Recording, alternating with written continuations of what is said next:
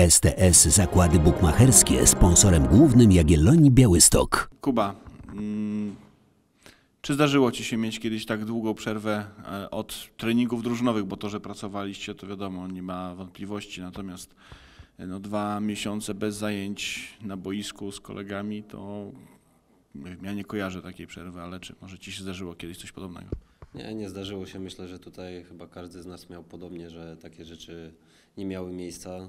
Ja miałem osobiście tylko przerwę jakby od ligi bardzo długą, kiedy kiedyś w pierwszej lidze były te, te przerwy trwały dużo dłużej, bo liga kończyła się w połowie listopada, zaczynała się dopiero w połowie marca, więc to była długa przerwa i był bardzo długi okres przygotowawczy, ale od takiego stricte tutaj e, treningu grupowego, no to, to nigdy mi się taka przerwa nie zdarzyła.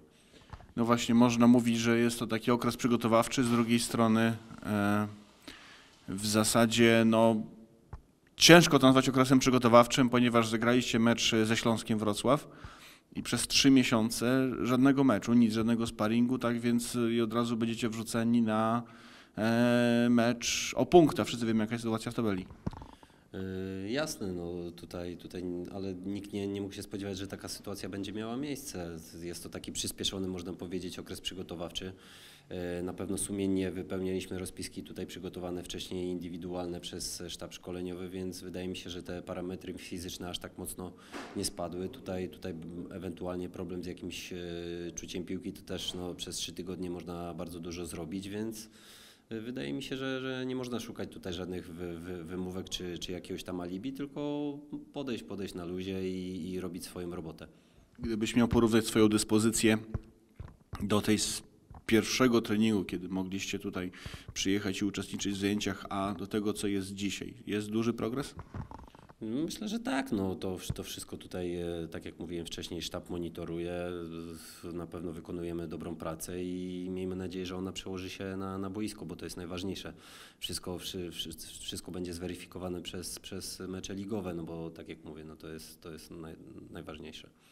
E, mecze ligowe rozgrywane w bardzo, można powiedzieć, niecodziennej aurze, takiej trochę apokaliptycznej, bo puste trybuny, puste stadiony, dosłownie kilkadziesiąt osób na trybunach, z czego z tych kilkudziesięciu lwią część będą stanowili piłkarze.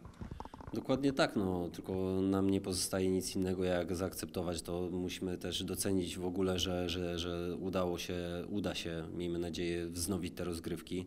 E, na pewno każdy tęskni za, za piłką nożną. Akurat ona będzie występowała teraz w takiej postaci, a nie innej i miejmy nadzieję, że to będzie tylko taki stan przejściowy i szybko wrócimy do, do tego, co było wcześniej, czyli z kibicami na trybunach, no bo to jakby najważniejsze, że gramy dla nich i czujemy ich wsparcie.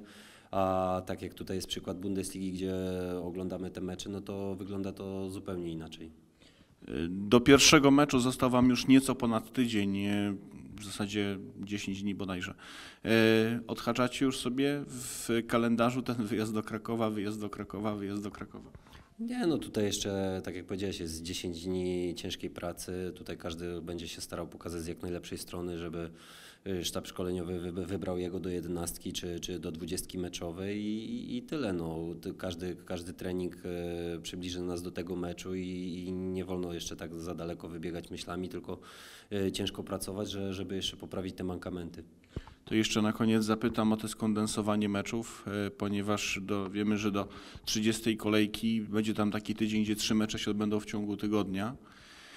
E, jak Twoim zdaniem to może wpłynąć na e, no przede wszystkim na zdrowie zawodników, bo dużo się mówi o potencjalnych kontuzjach, o to, że to może być no, takie dosyć ciężkie dla, dla, dla, dla, dla części piłkarzy. Jak, jak to osobiście to odbierasz i czy osobiście Ci to nie będzie przeszkadzało takie natężenie meczowe?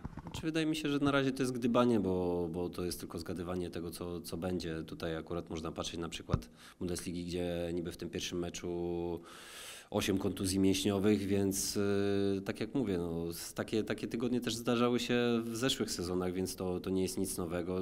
Jesteśmy młodymi silnymi mężczyznami i cóż, no, musimy się do tego zaadaptować i nie szukać, tak jak mówiłem wcześniej, żadnych wymówek, tylko dostosować się do tego, co jest i pokazać się z jak najlepszej strony. A jeśli chodzi o jakieś kontuzje, no to tak jak mówię, no, pracowaliśmy na pewno indywidualnie, jest to troszeczkę inny rodzaj e, pracy niż taka tutaj grupowa, grupowe treningi, ale myślę, że ja akurat jestem optymistycznie nastawiony do tego.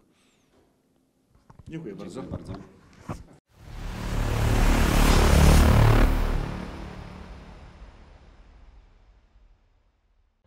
STS Zakłady Bukmacherskie sponsorem głównym Jagiellonii Białystok.